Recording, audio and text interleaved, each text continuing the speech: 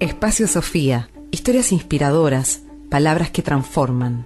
Un lugar para integrar la espiritualidad en tu día. Espacio Sofía en citas de radio. Una cita para desplegar el alma. Muy bien, estamos en el Espacio Sofía y tenemos el gusto de dar la bienvenida al programa a Manuel Lozano. Manuel es abogado, desde muy joven trabajó en Red Solidaria Missing Children y en el 2012, hace siete años, creó la Fundación Sí.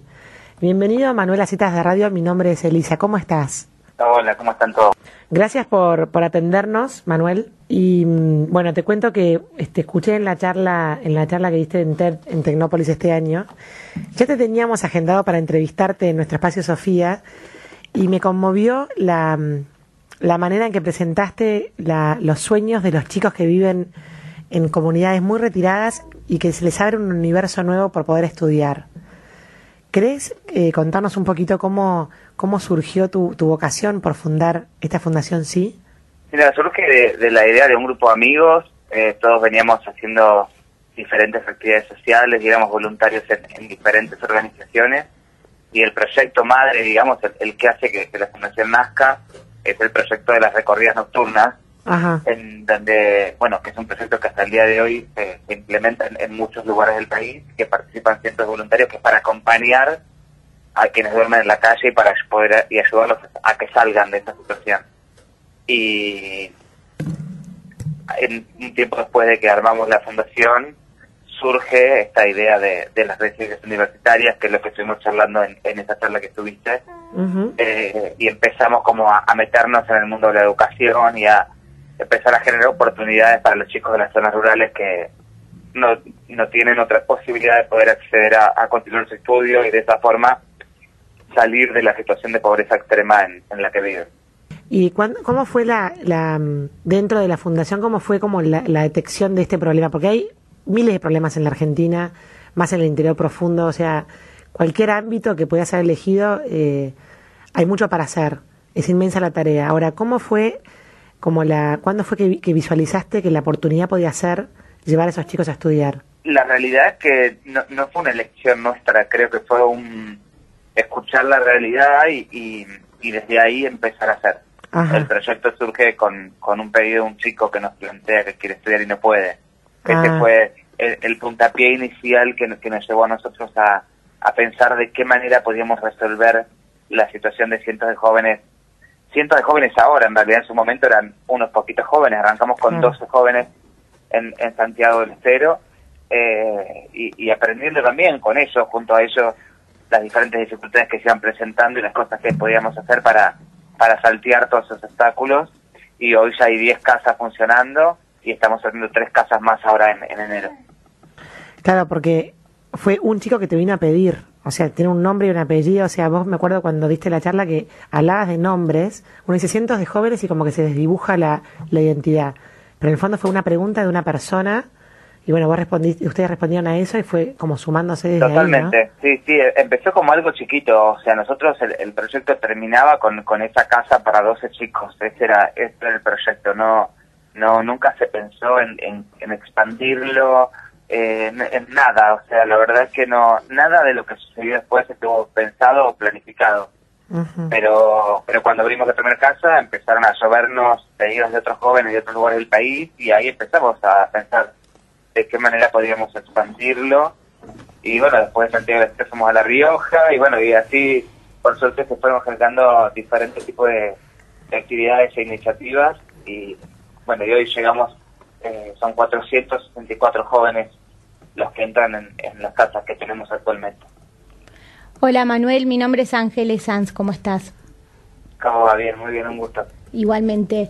Eh, vos que tenés la oportunidad de, hablar con, chicos que por ahí están tan lejos y con realidades tan diferentes a las que después tendrán a la hora de, estudiar y de venirse a Buenos Aires, eh, ¿qué, ven, ¿qué ven ellos desde su realidad que el estudio les, les puede dar? A ver, es muy relativo en cada chico. Eh, sí, te digo, nosotros para, para que los chicos se enteren de esta oportunidad vamos directamente a las escuelas rurales, vamos una por una recorriendo la invitando a los chicos a meterse. Muchos ni siquiera lo tienen pensado, porque como no, no lo ven posible, mm. lo ven como algo lejano y que no está al alcance de ellos, no se ponen a pensar qué quieren estudiar. Eh, y a partir de conocer la oportunidad empiezan a decir, wow, si está la oportunidad quiero, eh, quiero poder progresar, quiero salir adelante, quiero hacer lo que me gusta. Para eso también le tenemos que contar la oferta académica que hay, la cantidad de carreras que hay en la Argentina para estudiar, porque muchos ni siquiera conocen la carrera, las carreras, los que están más aislados en parajes de la montaña, en lugares que por ahí no llega la energía eléctrica, eh, no, no tienen conocimiento de todo lo que sabemos que nos vivimos en, alguna ciudad grande. O sea, ellos, pero sí ven el progreso en el estudio, ¿no? Porque justo hace poco hicimos una nota que hablábamos que, que por ahí ahora no, no se veía tanto el estudiar como el progresar o, o llegar a ser alguien, sino que por ahí eso era algo de, de más del pasado. Y en contra esa nota, digamos, está esta fundación de ustedes que, que justamente sí lo ven y es lo que también Bueno, yo, yo creo pensamos, ¿no? profundamente, creo profundamente en la educación y creo profundamente en el esfuerzo. Mm. O sea, creo que absolutamente nada se consigue sin, eh, sin esfuerzo, sin remarla, eh, sin estar mu- mucho tiempo dedicándole algo para poder lograrlo, ¿no? O sea, y lo digo de- también desde nuestra experiencia, digo, nada nos resultó fácil, eh, todo al día de hoy, digo, estamos en un año muy complejo, eh, abrir de trenos las casas, sostener a los chicos, imagínense que los chicos eh, vienen con, con un bolsito con ropa, después hay que cubrir la comida, los pasajes, los libros, los apuntes, los gastos de la casa, la luz, el agua, eh, todo eso es complejo, pero se logra con el esfuerzo de un montón de gente, y lo mismo les pasa a ellos con el estudio. Obviamente no les resulta fácil, vienen con un nivel que es muy malo, pero con esfuerzo van logrando avanzar y recibirse. Qué bárbaro, Manuel. Ahora, eh, estaba, eh, le contamos a la audiencia que escribiste un libro que se llama Otro Mundo, Ideas para vincularte y construirlo, eh, en el cual me imagino que recolectas tu, tus aprendizajes y tu experiencia. ¿Vos cuando estudiaste abogacía, te visualizabas haciendo algo de esto que estás haciendo hoy? Yo no me- la verdad es que no me visualizaba en nada. eh, ¿Por qué estudiaste sí abogacía? hoy eh, lo pienso y creo que, a ver, estudié abogacía por, por mi afán por la justicia y esto que hacemos tiene que estar completamente ligado a la justicia. claro. Digo, que un chico pueda estudiar es justicia. No, no, no hay mucha, mucho debate en eso. Eh, todos tendrían que, todo aquel que quiera estudiar tendría que tener la posibilidad de hacerlo. Eh, no, no tendría que ser un privilegio o algo selectivo para algunos. Y el lugar donde nacemos, más grande o más chico, más cerca de alguna capital o más lejano, no puede coartar nuestras posibilidades. Eh, entonces, lograr que alguien que no iba a poder estudiar pueda hacerlo es un acto de justicia. Y, y cuando empezaste con, con todas estas, estas inquietudes a ponerlas en práctica, ¿te imaginaste que ibas a ser líder para otros jóvenes? Porque sos, tenés un liderazgo social, si se quiere. No, yo primero soy el antilíder. A mí todo me da vergüenza, me cuesta hablar, soy tímido, me cuesta saludar, me cuesta estar en público, todo me cuesta. Eh, por lo que no, yo soy, o sea, to- todo lo contrario, lo que quería ser un líder soy yo. Eh, pero, pero se fue dando y la verdad es que creo que la fundación funciona no no porque la armó ni porque la lidera, creo que funciona porque hay un equipo de gente increíble, que somos cientos de cientos de personas de todas las edades que se les puede ocurrir, de todas las ideologías y situación económica, muy, muy heterogéneo, y esto para mí es la riqueza más grande de, de- de la fundación, de eso hablo un poco en el libro también, para mí, eh, digo, poder llevar adelante y formar parte de una fundación que tiene 2.500 personas trabajando, de las cuales ninguna, absolutamente ninguna cobra un solo centavo, para mí es maravilloso. Claro, es como muy convocante, ¿no? que los convocantes la causa, digo, la, lo, lo convoca- ca- cada causa con la que trabajamos es tan importante y requiere de tanta gente para poder abordar esas problemáticas y poder resolverlas, que creo que eso es lo que ha hecho que cada vez se sumen más voluntarios. Es, eh, es, es, es realmente una, una, mm, una, una explicación del contagio de, de hacer algo por, por los demás que va contagiando a otra gente que, que se conecta con esa energía, ¿no? Mañana. Yo siento un poco Sí. esa responsabilidad, o sea, yo lo hago porque siento que soy responsable de hacerlo y creo que cada ser humano tiene que, desde el momento que descubre que tiene la capacidad de hacer algo, tiene la responsabilidad de hacerlo. Claro, está muy bien. ¿Y mm, querés contarnos eh, del interior de lugar, de- o sea, qué lugares hay de las residencias universitarias? ¿Dónde están las, univers las universidades? Sí, hay, hay tres en Santiago del Estero, hay una en La Rioja, una en Catamarca, una en Córdoba, Santiago del Estero, Tucumán, Corrientes, Salta, Neuquén, Chaco, Córdoba, Rosario y Mendoza. Creo que dije todas. Qué. Eh, las voy diciendo en orden de acuerdo a cómo las inauguramos para no olvidarme. Pero estas son las casas, ahí nombre las 10 que ya están funcionando y las 3 que, que abren ahora en enero, que ya están seleccionados los chicos, ya están en proceso, están inscribiéndose en la facultad, se están preparando.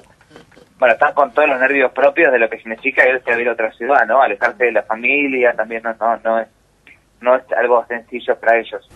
Manuel, ¿y los chicos se comprometen con la, con la fundación de qué forma? ¿Ellos tienen eh, algún trabajan para algo, eh, tienen, tienen algún tipo de responsabilidad? La, principal responsabilidad de los chicos obviamente es valorar la oportunidad y estudiar. Mm. Esa sin duda es la principal responsabilidad. Después ellos también están a cargo del cuidado de la casa, todo lo que es la limpieza, el sostenimiento, el mantenimiento y eh, la cocina. No es que en cada casa tiene una cocina, ellos ya son todos terminados secundarios, son mayores de edad y entre ellos se van turnando para cocinar para todos. Mm. Eh, y después obviamente vamos trabajando mucho con ellos el sentido de la responsabilidad, de ser conscientes de que la, oportunidad que estamos teniendo tenemos que trabajar para que otros la tengan también, ¿no? Cuando uno obtiene una oportunidad se transforma en un privilegiado y eso hace que también seamos responsables de, de seguir generando esa cadena para que más chicos tengan esta oportunidad. Qué bárbaro, Manuel. Ahora, contanos un poquito, bueno, imagino que mucha rutina no tendrás, pero ¿cómo es tu día o cómo es tu semana? Uh, ni yo sé, yo planifico, no planifico nada, voy viviendo. Eh, sí, viajamos mucho al interior, eh, eh, estoy en gran parte del tiempo en el interior, todas las casas están en el interior. Este año recorrimos 524 escuelas, eso lleva tiempo. Eh, todo el proceso de selección de los chicos se hace en cada una de las provincias.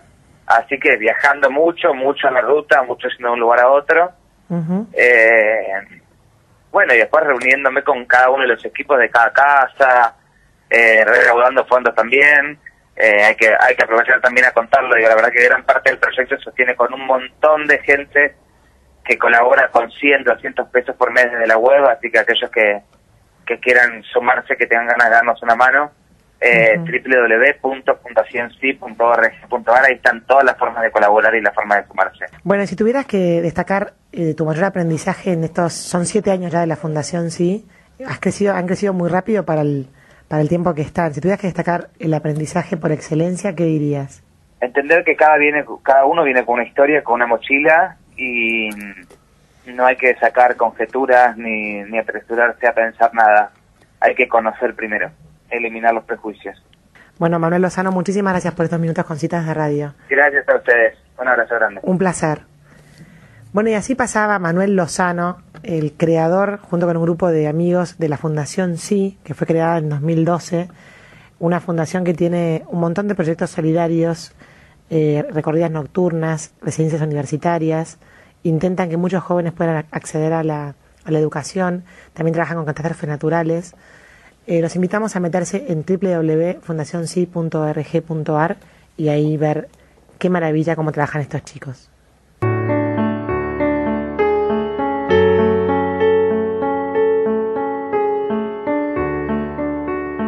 Bueno, y los créditos de la música de este espacio Sofía, este piano tan maravilloso que escuchan, es de autoría de Violeta Reinal.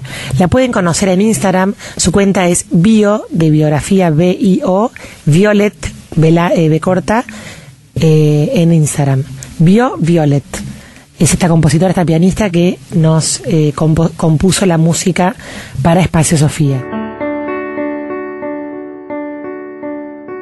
¿Te gustó esta conversación? Te esperamos todos los días en sofiaonline.com.ar.